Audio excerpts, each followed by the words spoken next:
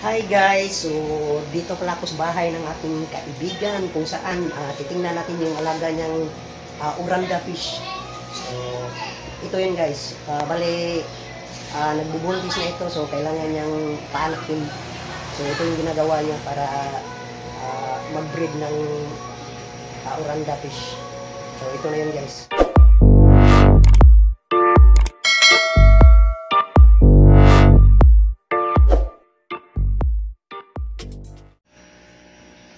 Mauni ang paagi guys para ah, mangitlog ang it, ang itlog ani mo ari sa kuan.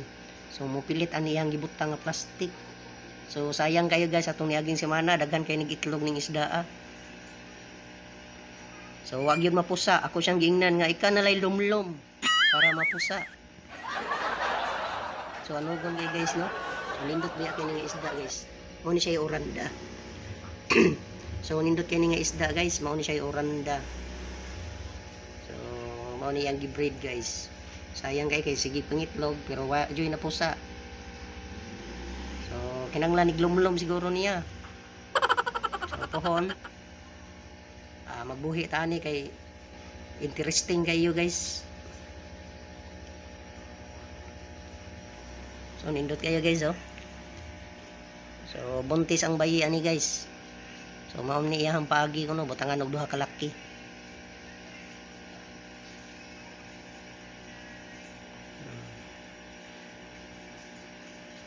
Basin og iya ning lumluman guys, mamusa na ni guys. Buhay po hon.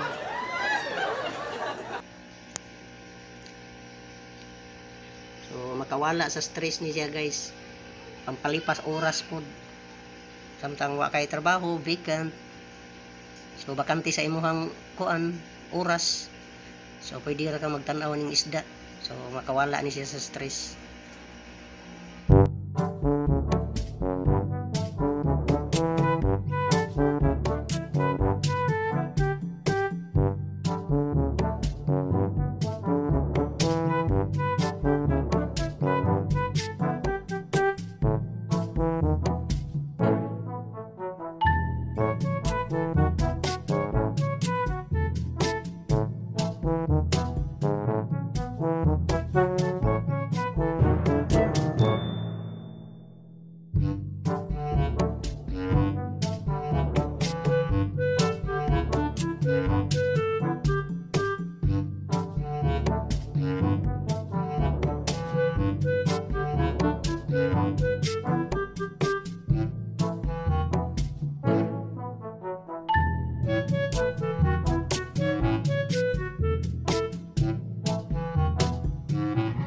So hanggang dito na lang guys. Abangan nyo na lang ang susunod kong mga videos. Maraming salamat.